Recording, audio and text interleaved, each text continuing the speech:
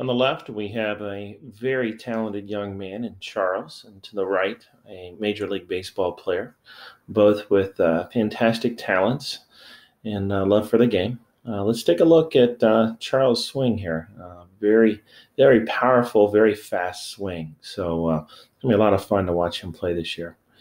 So let's just kind of take a look at some first setup moves. Um, you know, if I draw a line here, we're a little bit closed so body facing a little bit to first base. Um, doesn't don't mind it too much. Um, we'll we'll see how that progresses. Um, but you will notice that our professional is aimed straight at uh, the pitcher, so might be something we want to take a look at. Um, I do want to look at these hands. These hands look like they've got a death grip on that bat, so I would like perhaps a little bit looser. We're going to look at that. Obviously, can't tell how hard you're uh, uh, holding that bat, but I'm noticing these biceps. Very strong young man. Um, looks like a, um, a, little bit too hard of a grip. I want to hold it like a like a baby bird or an egg. Uh, so we'll, again, we'll work on that. Um, so let me just draw a circle here. Let's see uh, how your head moves kind of uh, through the swing. And then we'll see how our professional moves during the swing.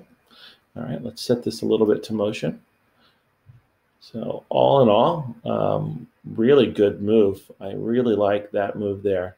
Now that's a really big step, really big step. So um, if it feels comfortable, great. Um, but it, I would perhaps like to see it shortened just a little bit because um, what's going to happen is you're going to get real flat coming in. Um, and it's going to be really hard to turn these hips. So what we're going to watch is we're going to watch these hips. Um, so you, when you take such a step forward, your head comes down.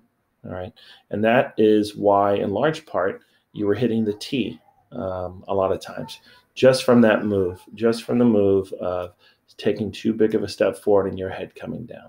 Okay, let's uh, progress a bit more here. Um, this is beautiful.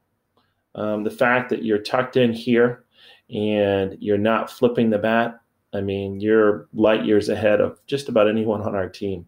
Um, so, congratulations. That looks really good. Um, this shoulder is way, way too low, though. Um, you're really kind of dipping, almost like you're trying to hit a home run, which um, I fully expect that you will hit a lot of those this year, but a um, little bit too much dipping. Although we talked about earlier the hips, you've got some good hip turn already, so that's that's a good thing. Uh, just goes to show the kind of athlete that you are. Um, at this point, um, this is where things start to break down.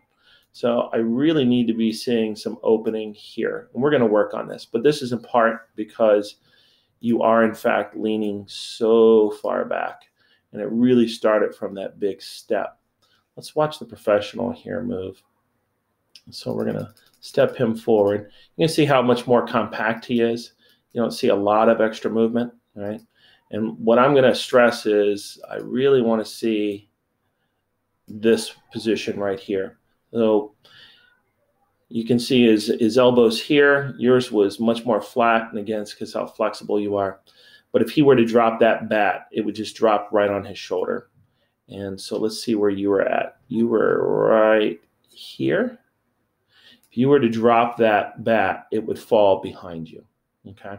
So we're going to work on pulling those hands straight down rather than around and flat. So we'd much rather be at a position here. And ultimately, at impact, which is what matters most, what I'm looking for is this. That's the move I want. Okay. So if I were to take you out to here, you'll notice that our professional here has tons of space in his in between his arms here, and and you don't. And I don't think there's a single player on our team that that does that at the moment. And so you see the bat is out in front of the hands; they're not in the middle of the hands. So if I were to draw into your hands there, where his bat is out in front, right, with his hands there, they're not to be in a line. Um, it's supposed to be set this way. Okay, we're going to clear all this. We're going to clear all this. And then as we progress forward, you can see you got a real chicken wing going on. So in this way, you're not able to just release the bat uh, and just let it effortlessly extend. He's extended here, and your bat's already coming up and you're coming back. And in large part, I think it's because of that big first step. Uh, and then everything just kind of falls apart afterwards. That's what we're looking for. And not too bad, not too bad. So, what we really want to f- feel is we want to let's start practicing with the finished position in mind. So, I want to see this. And more importantly, what I really want you to focus on, Charles, is I want you to feel that position.